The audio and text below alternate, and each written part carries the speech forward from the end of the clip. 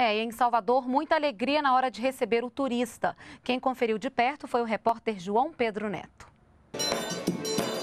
Abre alas que lá vem o turista. Quem chega ao aeroporto de Salvador em época de Copa das Confederações e São João tem uma recepção e tanto.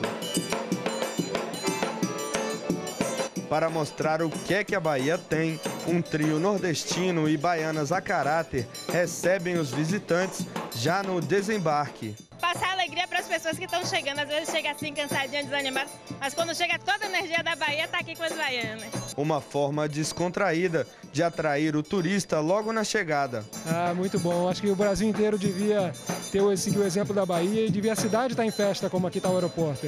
Para receber bem os visitantes que vêm à Bahia, muitas pessoas que trabalham com turismo investiram na qualificação profissional e fizeram cursos de línguas estrangeiras e recepção de turistas. Cerca de 5 mil profissionais, como comerciantes, baianas e guias turísticos, se capacitaram para a Copa das Confederações em Salvador, como a baiana Simone Souza, que, com seu charme, dá dicas para quem quer conhecer melhor o Centro Histórico de Salvador.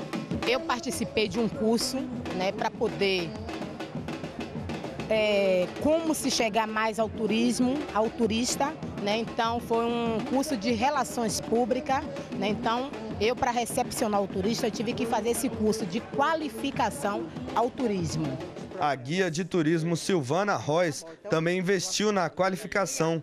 Ela fez cursos de inglês e espanhol pelo Programa Nacional de Acesso ao Ensino Técnico e Emprego para a Copa de 2014. Uma gama de idiomas que faz com que esse suporte venha atender todo o público que visite o estado da Bahia e que visite Salvador.